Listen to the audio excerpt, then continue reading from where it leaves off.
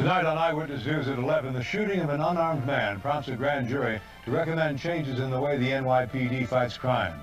Also clues as to why one community has become a cancer cluster and a vision quest, the extremes people can go to to improve their eyesight dramatically. Details in our special report, Seeing is Believing at 11.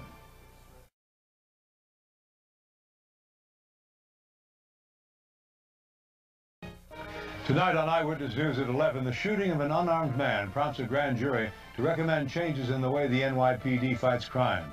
Also clues as to why one community has become a cancer cluster and a vision quest, the extremes people can go to to improve their eyesight dramatically. Details in our special report, Seeing is Believing at 11.